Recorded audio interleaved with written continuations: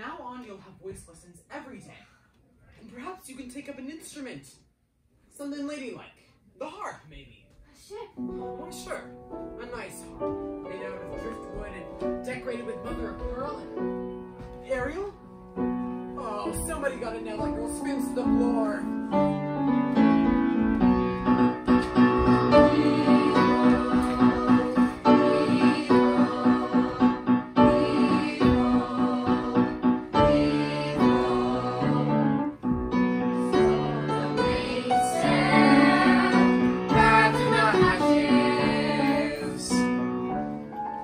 I don't want to be king. I swore an oath to your father on his deathbed that I'd turn you from an arid down to a proper royal. Now you're making me queasy. That's not all. I promised him I'd have you married by your next birthday.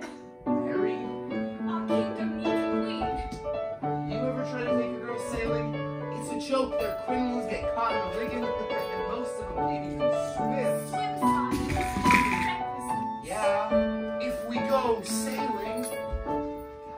where am I gonna find Grimsby? A girl that's alive and carefree as the sea itself. Where? Well, what do you know? Swallow, be quiet. They'll hear you. Oh, I got you, I got you. We're being intrepidatious.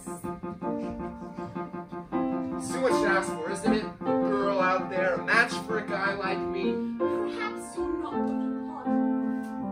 Never seen a human this close before. Me neither. I thought you were an expert. On their stuff, sure.